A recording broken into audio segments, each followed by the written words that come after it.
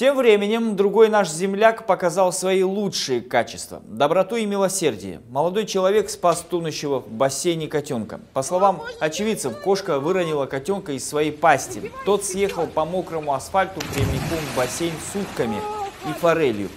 Спас котенка парень, который успел снять лишь обувь в одежде, прыгнул за ним в холодную воду.